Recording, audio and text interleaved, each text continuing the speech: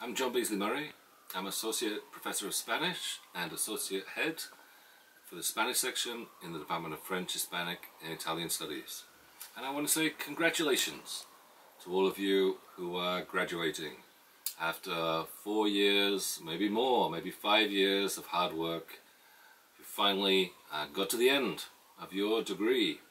So well done. And those people who've done MAs or PhDs as well, um, kudos and congratulations and respect.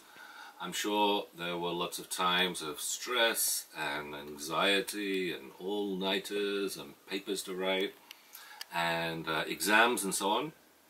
But I hope you also remember the good times, the learning that you did, that sense of intellectual adventure, um, finding out new things about yourself and about the world around you, challenging yourself uh, in some ways.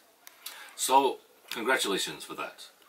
Um, I want to say also that the learning doesn't stop here. I hope that sense of intellectual adventure continues on in life. You don't leave it behind um, just because you've left the university. But still, uh, this is a real moment, this is a real stage to stop for a moment and, and celebrate. So well done.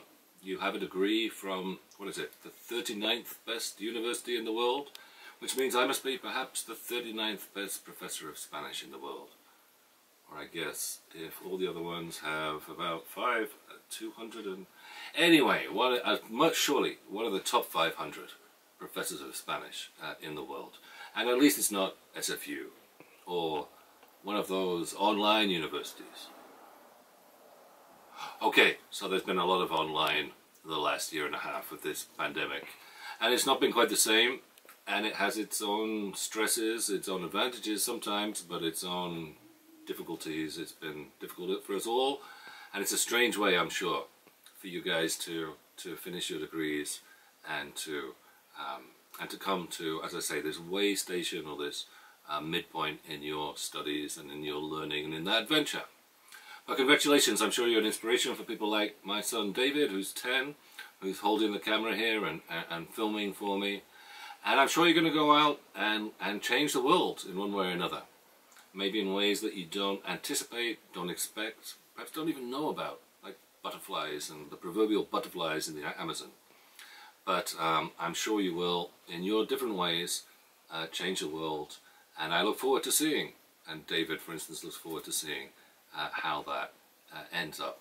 So, congratulations. Here's a toast to the class of 22, 20, 2021, the class of 2021, and, um, and your achievement. It would be nice if we could all meet up for graduation and, um, and, and celebrate together. I've tried to do my little bit by, you know, putting on my fancy clothes and so on uh, as, a, as a kind of mark of respect uh, for all you've done.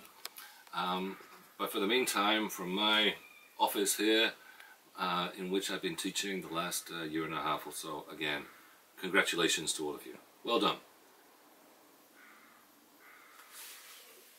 Okay, did you get that, David? Yep. Yeah, okay, excellent. All right. Oh, I need more of this after that. Time for dinner. I think it's cornflakes again. Okay. All right? Okay. Okay, we're done. Good. Thanks.